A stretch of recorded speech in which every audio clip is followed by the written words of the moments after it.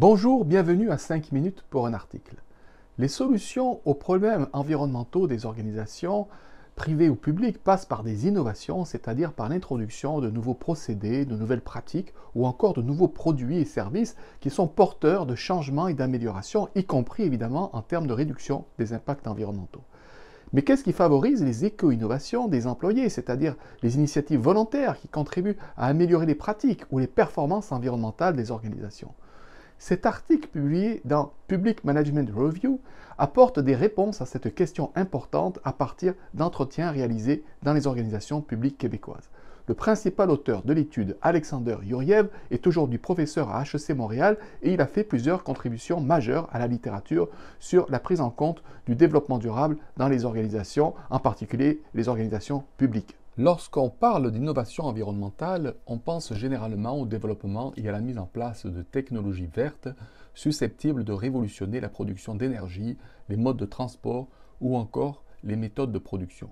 On peut penser par exemple à de nouvelles technologies permettant de produire de l'hydrogène propre ou encore à de nouveaux procédés permettant d'augmenter la durée de vie des batteries de voitures électriques. Pourtant, la plupart des innovations environnementales apportées par les employés sont moins visibles plus circonstancielles et ne nécessitent pas nécessairement de longues études de recherche et développement, mais ces innovations n'en demeurent pas moins essentielles pour réduire les impacts environnementaux. Par exemple, Patagonia a développé une culture d'entreprise centrée sur la protection de l'environnement et la promotion d'innovations environnementales auxquelles participent activement les employés. Les initiatives d'économie circulaire mises en place par cette entreprise reposent en réalité sur une multitude d'éco-innovations qui ont permis, entre autres choses, d'augmenter considérablement l'utilisation de fibres textiles faites à partir de vêtements recyclés, de bouteilles, de filets de pêche ou encore de vêtements usagés afin de minimiser l'empreinte écologique de l'organisation. Cependant, on connaît mal les facteurs qui favorisent les éco-innovations, surtout dans les organisations publiques, qui, pour relever les défis environnementaux, doivent elles aussi innover.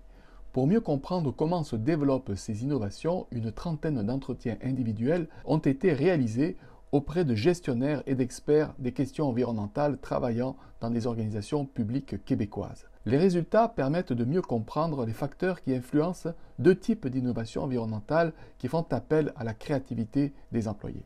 Le premier type sont des innovations dites contributives, qui apportent des contributions à des problèmes environnementaux clairement formulés et auxquels sont confrontés d'autres personnes ou d'autres services. Par exemple, les responsables environnementaux rencontrés dans l'étude peuvent travailler sur la mise en place d'un programme pour remplacer les éclairages traditionnels par des éclairages LED afin de réduire la consommation d'énergie dans un autre bâtiment administratif ou encore développer de nouvelles procédures pour favoriser les achats responsables auprès de producteurs locaux par les employés du service des approvisionnements. Le deuxième type d'innovation est de nature proactive, car il s'agit de proposer des solutions créatives à des problèmes qui concernent directement les employés qui proposent ces innovations et qui, au départ, ne cherchent pas nécessairement à résoudre des problèmes environnementaux spécifiques. Par exemple, pour favoriser le transport sur le lieu de travail, des employés peuvent mettre en place un programme de covoiturage qui permettra aussi de réduire les émissions de gaz à effet de serre. L'article montre à travers divers exemples comment le développement de ces deux types d'innovation est influencé par divers facteurs comme le leadership des dirigeants, la communication interne, le soutien des collègues de travail, le temps et les ressources disponibles ou encore les valeurs personnelles des employés. Les résultats montrent aussi que la prise en compte symbolique et superficielle du développement durable par certaines organisations publiques tend à restreindre les possibilités d'émergence des éco-innovations dans le milieu de travail. La paperasse liée aux aspects bureaucratiques et réglementaires des questions environnementales tend également à étouffer les initiatives créatives des employés du gouvernement, surtout pour les personnes responsables du développement durable qui travaillent sur ces questions et qui doivent surmonter des obstacles administratifs et politiques particulièrement importants. En conclusion, cette étude permet de mieux comprendre les motivations et les freins à l'émergence d'innovations environnementales de la part des employés d'organisations gouvernementales.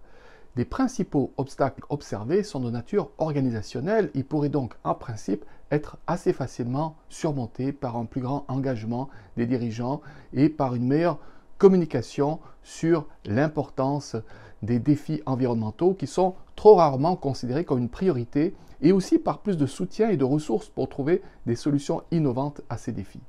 En bref, Comme dans les entreprises privées, les performances environnementales des organisations gouvernementales dépendent dans une large mesure d'innovations apportées sur une base volontaire par les employés.